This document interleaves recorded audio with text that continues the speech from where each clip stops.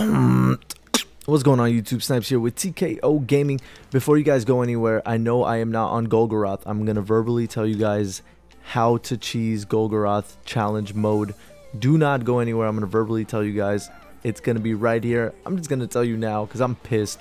We spent the last two hours beating him legit. I posted a video on how to beat him legit, so make sure you guys check that video out for all you people that have integrity and all that kind of good stuff. I don't care if you cheese. Honestly, I do not care. So here it is.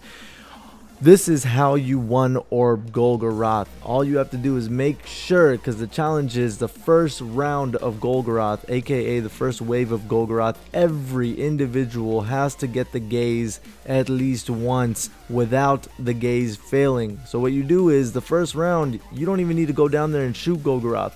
You just get the gaze, everyone to get the gaze the first round, and if you want, put the orbs down just to pretend like you're doing something and then that's it. After that, you can do the one orb strategy to kill Golgoroth. It's such an easy way to kill him for all you LFG people who aren't that good at this game or who just want to help others. It's very easy. We will most likely be either doing that strategy or the legit strategy. I mean, I just put a video on exactly how to do the legit one. So if you guys want a challenge, go try that strategy. It's really easy. It's really efficient. Check it out.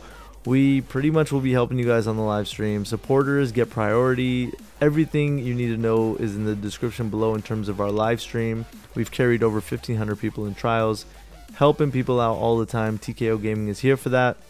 So thank you guys so much. I'm crying right now because I have no sleep.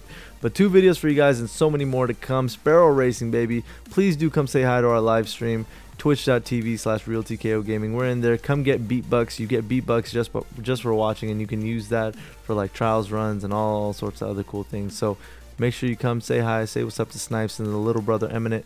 I love you guys. See you in the next video baby. Peace. Stay blessed